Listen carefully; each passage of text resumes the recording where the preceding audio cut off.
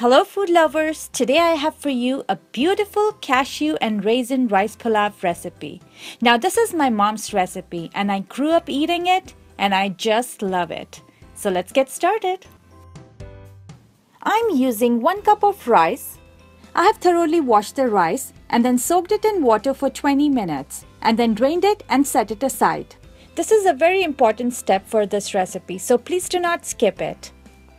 I will start off with roasting the cashew nuts. So to a heated pan, add 1 4th cup of cashew nuts. Roast it for 2 to 3 minutes on high heat. Make sure to stir in between so you do not burn the cashews.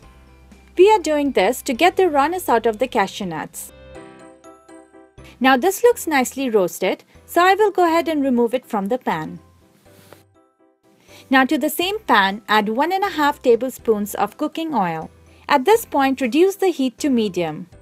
In goes 1 cup of finely sliced onion. Fry the onion until it's softened and translucent for about 2 to 3 minutes on medium to medium high heat. Please note that we are not trying to caramelize the onion.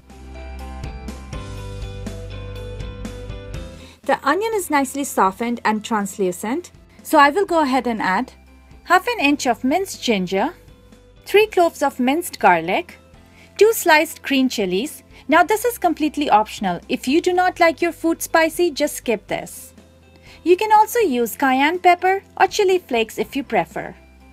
Half a teaspoon of turmeric powder, half a teaspoon of garam masala powder, half a teaspoon of salt. Mix it all well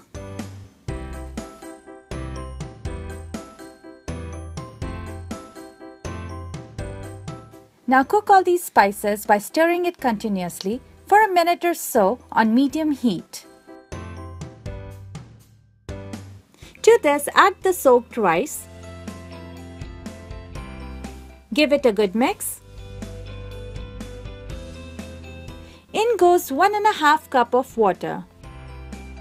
Give it a gentle mix. So the proportion is 1.5 cup of water for 1 cup of soaked rice. Now this will give you a perfect fluffy rice. Now let the water come to a boil. It will take about 2 to 3 minutes. The water has started to boil rigorously, so at this point reduce the heat to the lowest point on your stove. And then cover it and cook it for 10 minutes.